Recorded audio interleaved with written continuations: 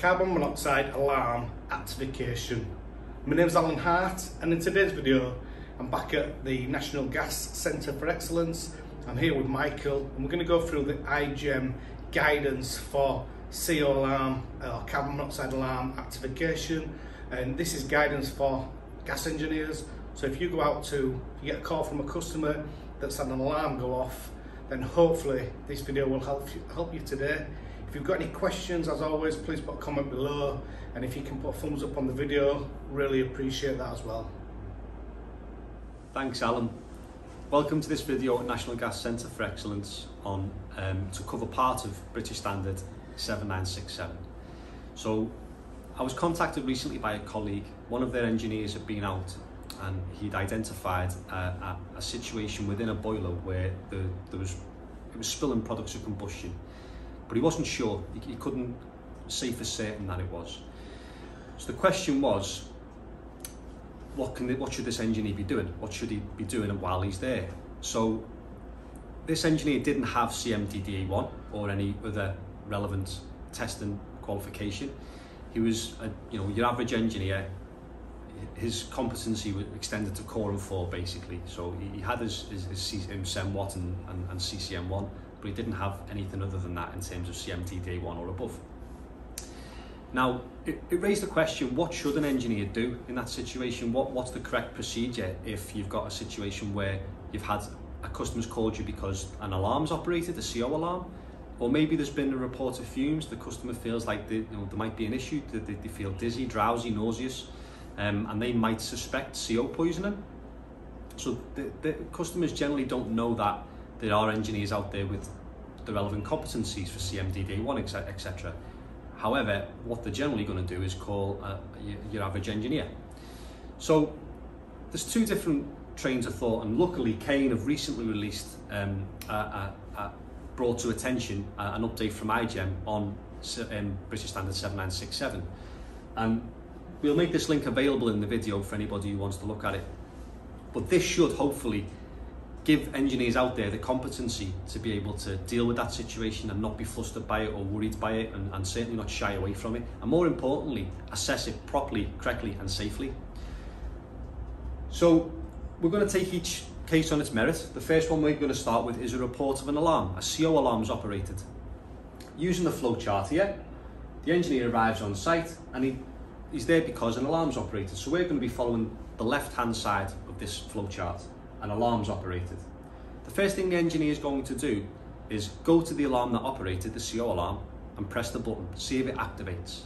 If it does activate, which we're assuming it will, then therefore we're going to say, well, okay, is the alarm correctly positioned? Is the alarm fitted as per manufacturer's instructions?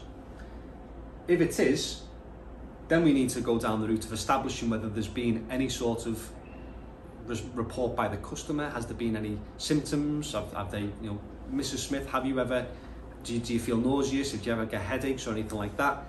It, it's, you know, what, who, when, why. That's what you want to know. If there's something that the customer gives you that leads you to believe there might be an issue with regards to CO, then we need to be adequately testing that situation. And how we do that is this section here. We conduct a visual inspection of all appliances in the property. Once we do that, that visual inspection is pretty much location, stability. Is there any, you know, is there any any flue breaks? Is there any signs of spillage? Is there anything that leads you to believe that there's an issue with that appliance? Um, signs of spillage is a big one, really. Um, also, if the customer tells you, I, I always feel a bit nauseous or I feel like a headaches of an evening, or will what, what do you have? Do you have any appliances running in the evening? Yeah, we have the fire on. It tends to be when the fire's on. Well, that, that's a surefire indication that there might be an issue with the fire. Once you've conducted that investigation, your visual checks, what it asks you to do then is full 26.9 checks on any appliances. So any appliances in the property, first of all you're visually inspecting them and then what you need to do is your 26.9 checks. Now that's, again we've discussed on previous videos, FAGs. Flue, so how do we test the flue? If it's an open flued appliance, we need to be flue flow, spillage, if it's a room sealed appliance, we want to be testing it with the flue gas analyzer. You know, we want to be inspecting it throughout its length. Is the flue secured? Is there any signs of spillage around it? Um, that's then you've got your ventilation. Has the appliance got the relevant ventilation? Gas supply. Is it gas rating properly? Is it has it got the correct burner pressures? Um, and then lastly, safety devices. Is the, are, are the, the um, flame supervision devices working, etc. Once you've done that, have you identified any faults? If you've identified any faults at all, as well as your 26.9 checks, what British Standard 7967 asks us to do is also sweep test each appliance. Engineers with CCN1 and core, sorry, core and, and CENWAT and, and whatever, you know, the relevant competency, HTR1, CKR1, whatever it may be, they have the ability to sweep test an appliance and that's what British Standard 7967 asks us to do. So the procedure for carrying out a sweep test is using your analyzer, you set it to measure CO in parts per million, and what you do is you go around the appliance and its flue for two minutes. And during that two minute period, we expect at least a minimum of two full orbits of the, of the appliance, if you like. So we're going around the appliance at least twice, including potentially any flues, any flue joints that might be in the loft or anything like that as well. We need to, we need to pay particular attention to them. Um, once we, if we measure any, if we measure any rise in CO around the appliance, then that appliance then becomes suspect, and we need to deal with that at that point.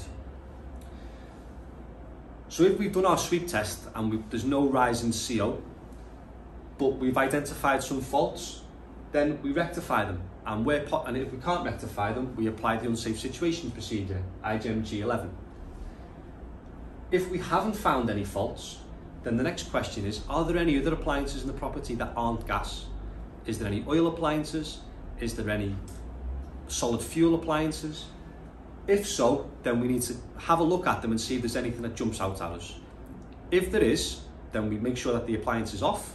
We tell the customer that we, we tell the customer that they, they shouldn't use the appliance and that they should contact a competent engineer who can deal with that, that fuel source, i.e. OFTEC, Hetas, whatever it may be.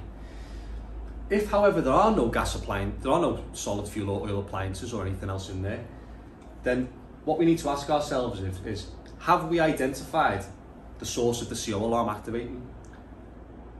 Have the issues been rectified? Can we say that as an engineer? If we haven't and we can't say that, then we need to basically identify is this still going to be an issue? Is there still going to be potential for a future alarm? Is there still a smell that the customer's aware of? If so, basically we need to be getting an engineer there who has CMDDA1 or a relevant competency and they will do an ambient room test. The procedure for an ambient room test is available in British Standard 7967. However, the specialist equipment that and the specialist analyzers that um, engineers with those competencies carry um, and also the procedure is, if you're not, if you've not been trained in, in that procedure, then realistically you shouldn't be carrying out that, that test. Um, obviously if the issue's been resolved, then you don't really need to get involved in it. But the point is, your average engineer with core and the relevant appliance can carry out a sweep test and can play a, a vital role in identifying whether an appliance is producing CO. If there is any grey area at all, if the engineer is unable to be able to identify what the issue is, then the engineer should be contacting somebody or referring the, the customer to somebody with CMDD1 or an, again a relevant competency in that in, in that in fumes investigation. The other route, and it's very similar, is if there's a smell.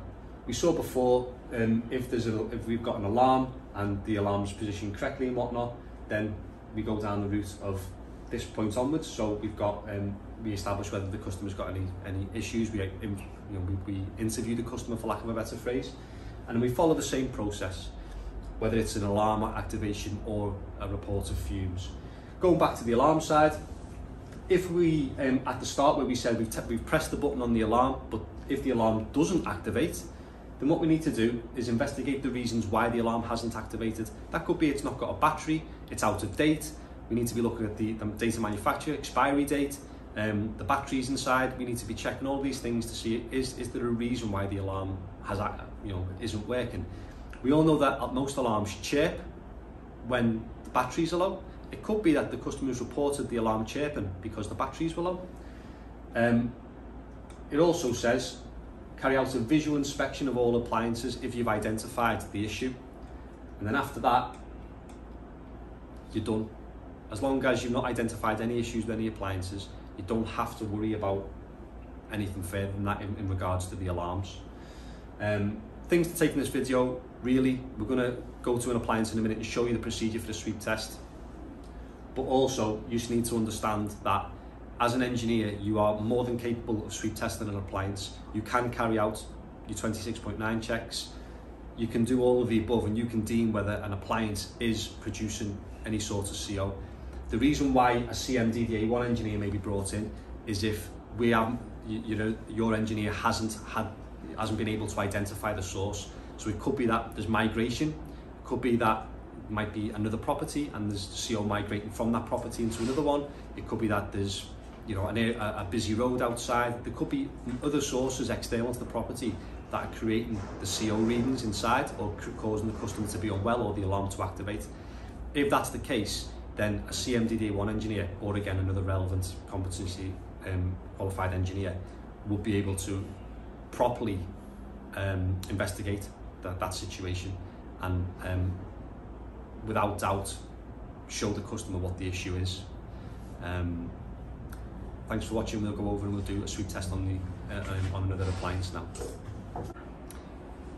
So we're now going to perform a sweep test on this appliance. This is a, um, a Potterton Assure.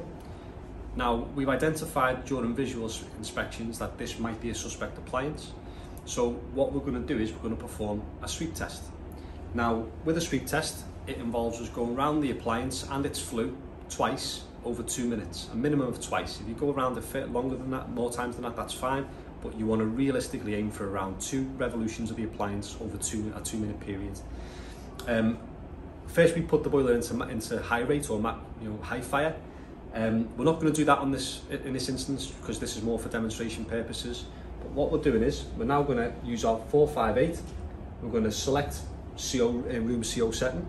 We're going to select sweep test and now we're going to press start. The boiler's in high fire. And then all we're going to do is rotate the probe over 120 seconds keeping the probe roughly 100 mil away.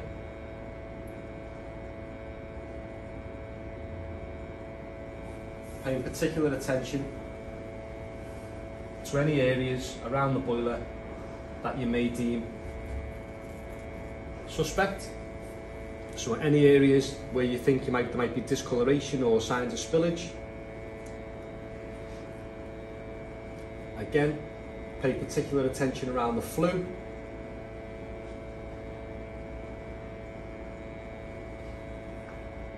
Now you may notice that this appliance is a negative pressure appliance. So if this was a Netaheat, for example, or another positive pressure appliance, then what we would be looking at doing is paying even more attention to seals and places like that. As well as testing seals, what we also want to do is look at things along the lines of um, parts of the boiler where you've got grommets and any part of the appliance where you may have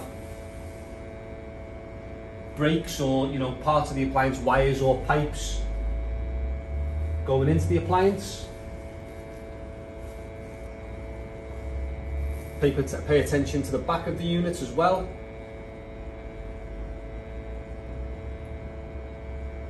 And all we're making sure of is that we don't get any any sign of CO or any, any CO in parts per million over 10. That's the test complete. Obviously, we never got any CO parts per million. However, if we did get more than 10, that would cause, be a cause of concern for us. Any, any rise really would give us cause for concern, especially on a room sealed appliance.